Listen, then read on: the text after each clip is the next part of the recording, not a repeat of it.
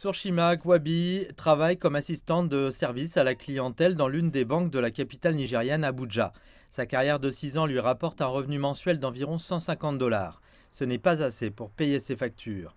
Dans le but de compléter son revenu, elle a créé son entreprise de parfum à l'huile appelée Mshima Parfum Maintenant, elle gagne avec son entreprise près de trois fois son salaire mensuel. J'ai dit, permettez-moi de commencer à vendre ces parfums car ils sont faciles à transporter.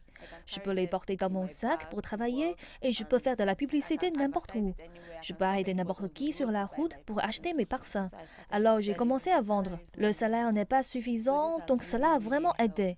Vous savez, en Nigeria, avant l'augmentation du salaire, vous l'avez dépensé, mais cette entreprise m'a vraiment aidé. Mais combiner son travail à temps plein avec son agitation côté n'a pas été une promenade dans le parc. Je dois avouer que ce n'est pas facile. Vous savez que je dois me réveiller très tôt le matin, me préparer pour le travail, puis quand je reviens, c'est là que mon entreprise commence. Mon entreprise n'entre pas en conflit avec mon travail. Même si je veux vendre au personnel, c'est après le travail.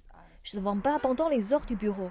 Le Bureau national des statistiques signale que 21,7 millions de Nigérians sont au chômage et que 28,6% sont sous-employés. Comme Surshima, des millions de jeunes Nigérians employés se livrent à diverses formes d'activités à côté pour argumenter leurs revenus réguliers. Le climat économique a été défavorable, le salaire minimum est fixé à 70 dollars par mois. La réalité économique est très grave. Au jour le jour, l'inflation ronge le niveau de vie des individus au Nigeria alors que l'employeur, que ce soit le gouvernement ou le secteur privé, ne fait rien pour augmenter les salaires des employés. Dans la réalité où nous nous trouvons, il sera difficile de décourager la question des activités annexes. Cependant, elles ne doivent pas être faites de telle sorte qu'elles affectent l'emploi actuel de cette personne. Alors que les activités annexes peuvent stimuler le revenu des citoyens, les experts avertissent qu'elles pourraient conduire à l'épuisement professionnel et à la concentration divisée.